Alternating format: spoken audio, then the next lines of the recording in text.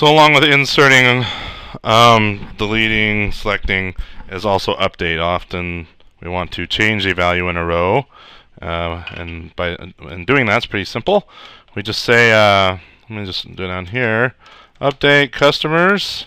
We say set, uh, and then we want to do the column name here. We can do more than one expression. Let's do company name is Neumont.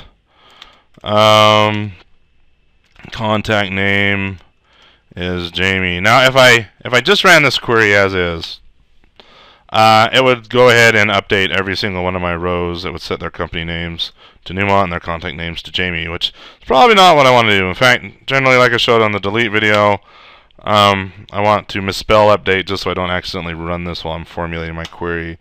Uh, let's do a where. Where where what? Uh, let's just pick one row to pick on here. Let's do this BLAS road so row. So where customer ID equals BLA is it A? Yep, AUS.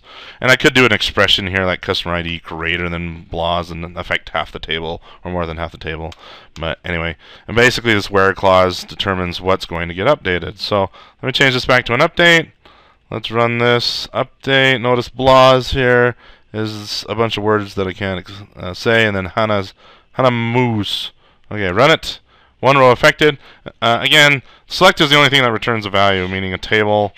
Um, up, insert, update, and delete. They all they don't do anything. That you just see how many rows were affected. Basically, if you do an insert, how many rows were inserted, or if we do an update, how many rows were updated, and that kind of thing. Okay, so let's select Splat from customers again. We see that BLAS is now Neumont Jamie. So that's pretty straightforward. Um, at least I hope it is. Again, we could we could put any kind of expression out here. Like I could set company name instead of Neumont. Let's set it to contact title plus uh, contact name. We can do expressions like that. Let's let's run this and see what happens. Here's BLAS and it's sales representative Jamie, which is the contact title, sales representative plus Jamie. This value is persistent, meaning that um, that it's not a derived value. We'll see later on we can make tables that derive values um, on demand. And what it literally did in this case is it just took sales representative plus Jamie and stored it into this cell. So there you go. There's update.